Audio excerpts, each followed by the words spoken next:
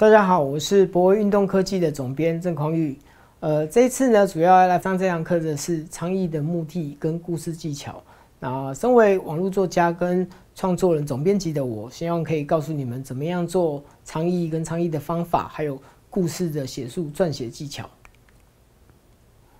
在这堂课中，我们会有四个主要的章节。第一个章节呢是媒体视频的哦，如何？讲述一下公众媒体的时代到自媒体这个时代。第二个呢是媒体倡议的目标以及使命。媒体倡议的目标是什么？以及你必须要保持什么样的使命感？第三、第四个章节呢是来讲说如何应用自媒体的形式来诉说一个好的故事，然后以及用这个故事呢来塑造你个人的特色以及品牌。好，第一个章节是媒体视频的。从公众媒体走向自媒体，麦克卢汉说：“媒体局信息，好，这个时代呢，我们发现呢，讯息的媒介已经有开始不同的演变了。好，所以呢，我们从开始从不同的讯息演变，包含从我们的手机是最新现在看到的最早期的有什么？有电视，有印刷品，有书。每一个媒每一个讯息的演变，都会代表不同的媒介，然后代表每一个。”吸收讯息的人都会有不同的领域的感受跟思考的方式。哦，第二个呢，是我们要讲的是有关于大数据。那大数据其实没有不好，在大数据这这在这个时代里，我们发现每一个人都是一模一样的。在这个时代，我们需要的是后数据，我们需要有更多文化、更多元的东西，更个人化、跟故事的东西。第三个要讲的是有关于对于你跟读者之间的关系。读者的时间如果比你宝贵的话，那请问一下，你要怎么样争取读者的时间呢？那如果你争取到读者的时间的话，个人的力量有没有翻转这个社会的方法呢？文字是一种讯息，影音也是一种讯息。你会发现一件事，就是在这个时代里呢，我们从最早期的印刷品时代到电视、电影、广告、书本，好，我们会有接收大量的讯息。但是近几年来，社群媒体好变成是收拢。人类注意力最大的软体，好，你走在路上，你可能都会翻一下脸书，看一下 YouTube，或者是看一下推特或 Instagram。那很习惯性的人会发展的出，其实就是人机一体的形式。好，那固定的载体从什么？固定式设备，比如说像电视啊，或者是一般的 DVD，或者是一般的形式的 video。你会慢慢变成了所谓的行动装备，比如说手机，你会发现手机可以看到什么？可以看到电视要看的节目，哦，可以看到你想要看到的影片，然后可以看到社群的动态，哦，你会发最最最感受到的是什么？最大的差别就是呃，公众的媒体的形式已经慢慢的转变了。这个时代，这个时代已经不需要呃，已经公众媒体的形式已经开始有了不同的变化，每一个人都会变成自己的自媒体，所以你会看到。呃，公众媒体像电视，它开始有点，呃，收视率下滑，或者是报纸，它的开始已经开始有点消失，或者是，呃，纸本书开始变换，变成是电子书，开始是普罗大众可以接受的东西。所以这个时代，公众媒体不不再是那么厉害了，真正厉害的是你的自媒体。可是自媒体就会衍生出另外一种形式是什么？就是。每一个人会发展出两个不同的人格。第一个人格是你自我的人格，是现在你看到的这样的人格。另外一个人格是什么？是网络上的人格，网络上的形象跟你网络上的风范，这两个是完全截然不同的形式。所以，讯息媒介的演变呢，会导致每一个人会有不同的形式。在我们一般的形式下面，一天实体的生活下面，我们不会有太大的改变。但是，真正你需要去撼动的。做出不同的选择的，其实是你网络上的形象跟网络上的媒体力量。你一个人可以跟一百个人说同样一件事情，可是你透过网络的力量、合理的力量，你可以一个人可以跟很多人、几百人、几千人去沟通不一样的事情。所以你会发现，很多人在沟通事情上面，他会有所谓的中英对照。为什么？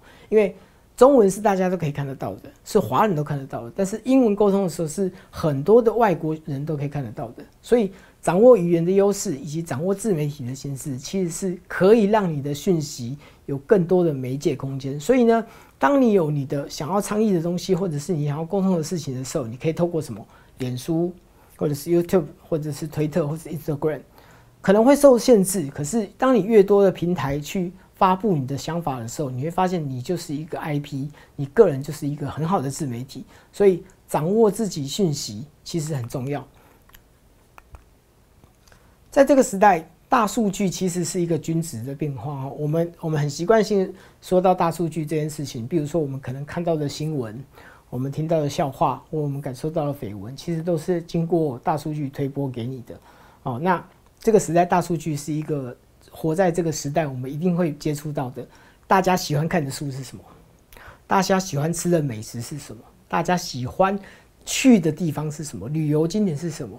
好，这些都是数据可以推播出来的。比如说，有一百个人喜欢去花莲玩，五十个人喜欢去哪里玩，这就是数据演播。可是呢，真正真正具备文化底蕴的，其实是什么？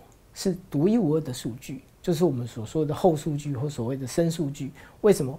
因为大数据的时时代的时候，我们看到的都是什么？我们看到的都是数据，好，都是数据的演变。可是，在后数后数据的时代，我们看到的是 story，我们的看到是个人的故事，哦，它是更人文化的、更社会化的，它不是理工科，不是硬生生推给你的，它是更不同的。那它要求的是直化性的研究，它要求的是深化性的沟通，比如说。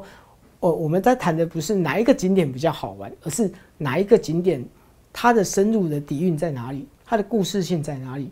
人们会探索的第一个是哪一个地方可以玩，第二个探索的地方是我这个地方玩可以玩什么。比如说，我可以看到的是文化的底蕴吗？还是感感受到美食？还是说只是因为大家去这个地方，所以我就去这个地方？真正独一无二的时候，这个底蕴才是最好的。所以呢，你会发现一件事。大数据的人都会被人家说，就是一个走向所谓公众型的模式，然后大家都喜欢去的地方。可是后数据你会发现只有一个小众而已。可是小众其实是可以翻转这个时代的，因为大数据喜欢的东西跟小众小数据后数据喜欢的东西其实是不一样的。可是小数据的延伸跟改变，其实是可以让更多人去感受到其中的差异的。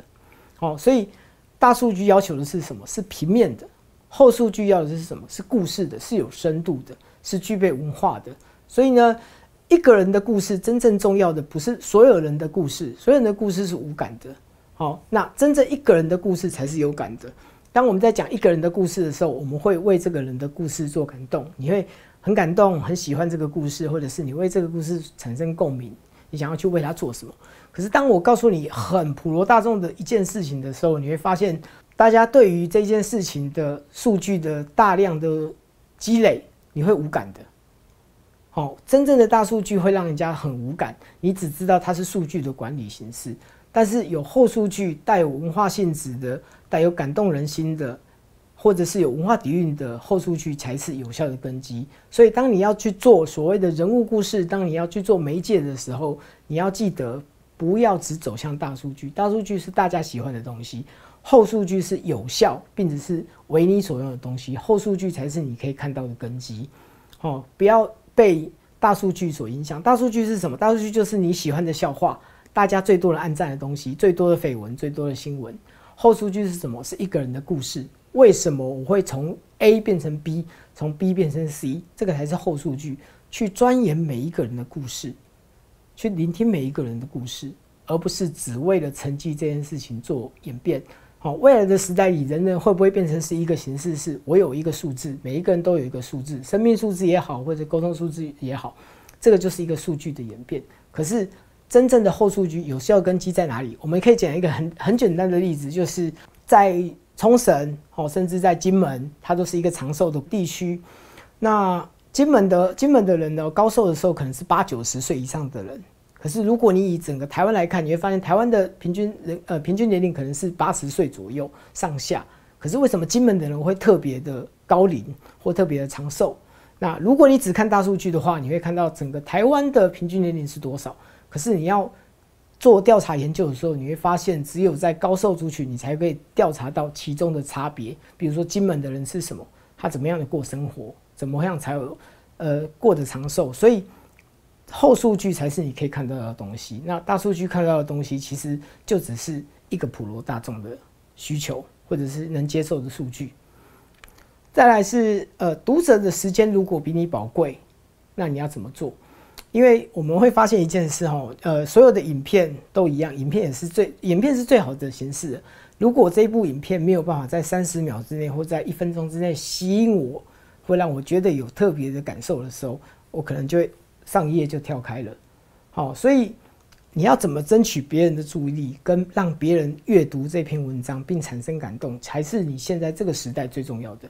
读者的时间比你宝贵，你可以写大部头的文章，也可以写简单的文章。所以，好的内容，好跟正确的时机很重要。